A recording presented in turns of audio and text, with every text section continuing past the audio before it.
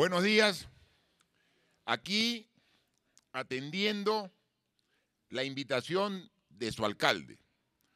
Recibí un oficio en Palacio Gobierno donde me invitaba para que esté presente en un hecho significativo para la región de Ancas, para la provincia de Siguas, para el distrito de Guayabamba, que tenía dos proyectos que venían ya desde la gestión anterior, pero que estaban en proceso de culminación y que querían que nosotros estemos presentes no solamente para ver la culminación de esta etapa, sino que asumamos compromisos para continuarlos.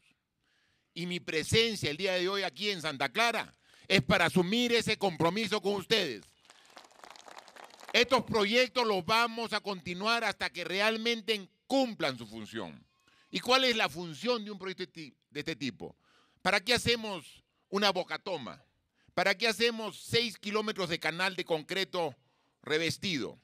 ¿Para qué hacemos un reservorio de 5.600 metros cúbicos de capacidad de almacenamiento? ¿Para qué? O sea, ¿para qué sirve el concreto? ¿Para qué sirve la infraestructura? Si es que finalmente no mejora el nivel de vida del campesino. O sea, ese es el objetivo.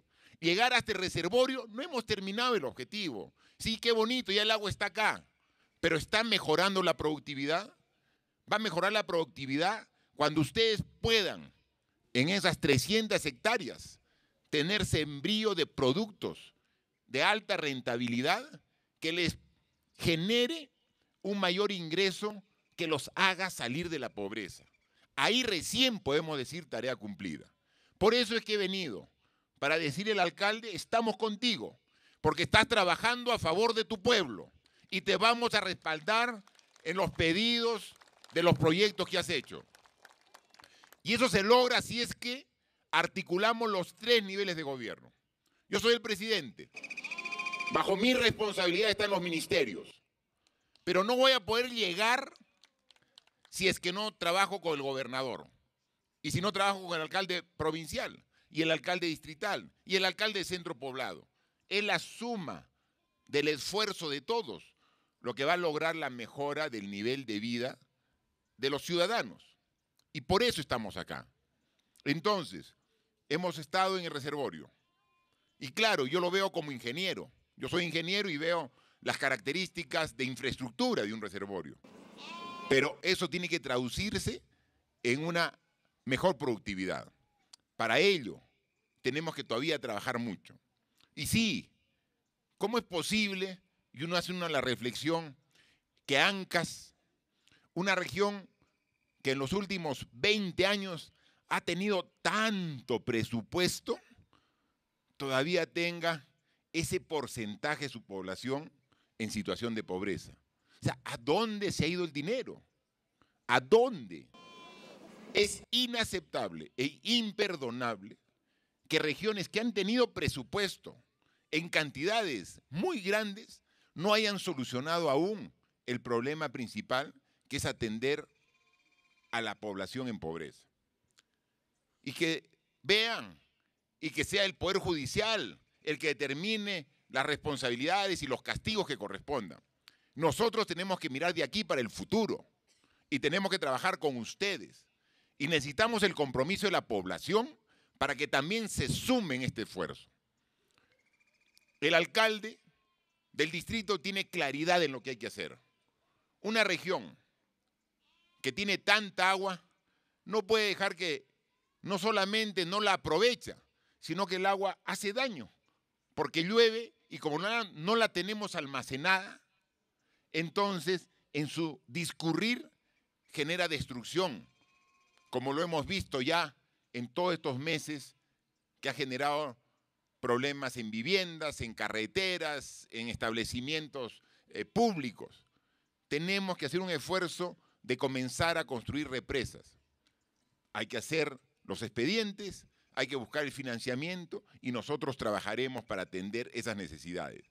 Tenemos la represa en la parte alta, tenemos que la conducción, canales, tuberías, y llegamos a la zona productiva donde están ustedes para darle el uso adecuado. Y vamos a trabajar pensando en el corto, mediano y largo plazo. Hacer una represa no se hace de la noche a la mañana. Hay que ubicar el sitio adecuado. Hay que hacer el estudio de ingeniería. Hay que trabajar el expediente técnico. Hay que ver el financiamiento. Hay que ver el proceso constructivo. Y eso puede tomar meses, años. Y mientras tanto, ¿qué? Tenemos que tener acciones más rápidas. Por ejemplo, mejorar los pastos. Y tiene que trabajarse de manera conjunta.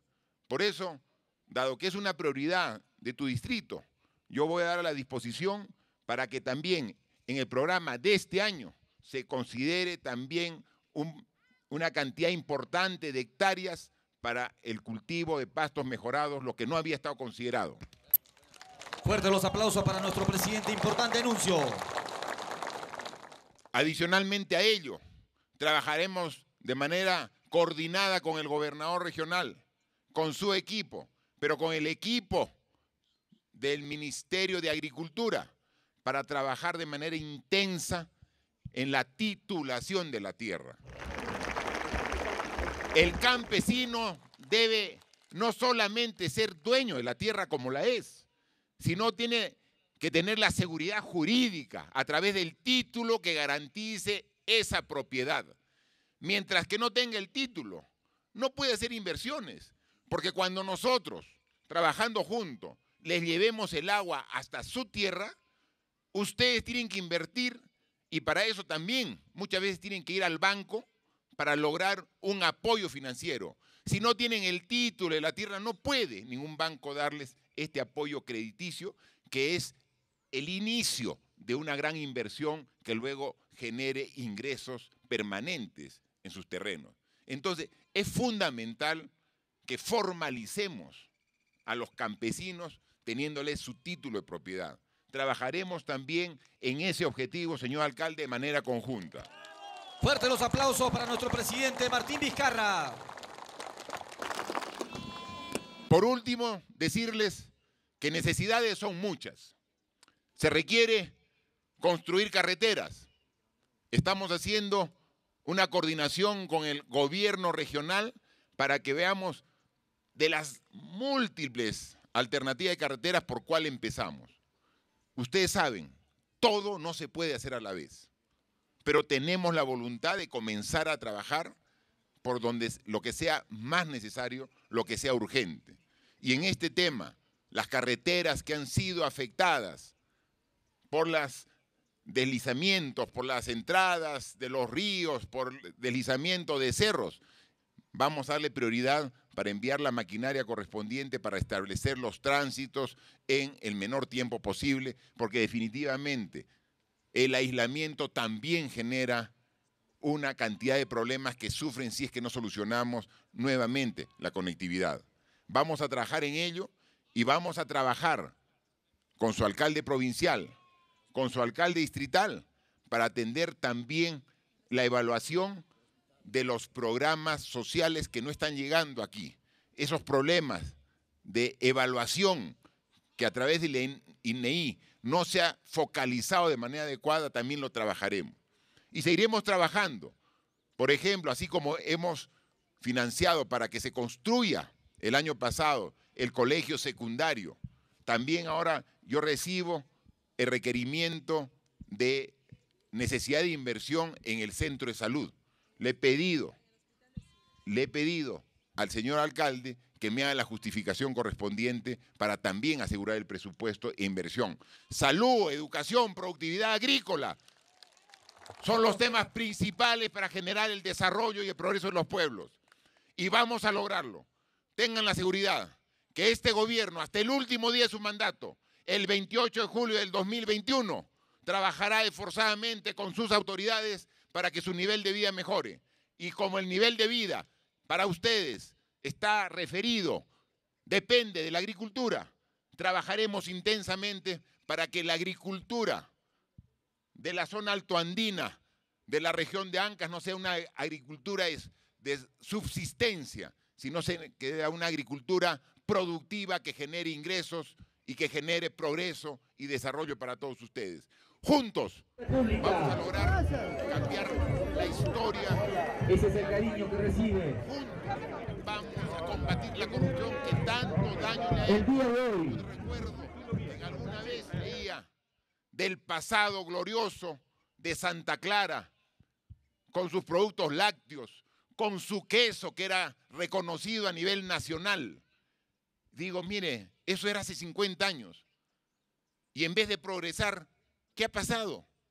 Lo que ha faltado es apoyo técnico, apoyo financiero, apoyo social que le vamos a dar para que no solamente retorne esos buenos tiempos del pasado, que sino que se proyecten al futuro para Saluda. generar una esperanza en la juventud, en la niñez que estoy viendo, y que por ellos vamos a generar Saluda. este tipo de inversiones que consoliden el progreso y desarrollo de Santa Clara, de Guayabambas, de Siguas y de toda la región Ancash en su conjunto, y por eso es que atendió su invitación y ahora nosotros nos, di- nos dirigimos a Sacsay para ver también cómo el ejemplo de una represa con una capacidad, por ejemplo, ¿han visto ese reservorio? Tiene 5.600 metros cúbicos de capacidad de agua. Es grande y va a ser útil. Pero aquí nomás cerquita, en Sacsay, estamos terminando de construir un sistema con una represa que almacena agua equivalente a 100 reservorios juntos. 100 reservorios como el que hemos visto aquí en Santa Clara, a través de una represa. Hacia eso tenemos que ir. Eso vamos a garantizar el almacenamiento del agua para tener una agricultura sostenible en el tiempo. Así que muchas gracias por su recibimiento y me comprometo a trabajar de la mano con ustedes para lograr la atención de todos sus problemas. Muchas gracias. Gobierno del Perú. El Perú primero.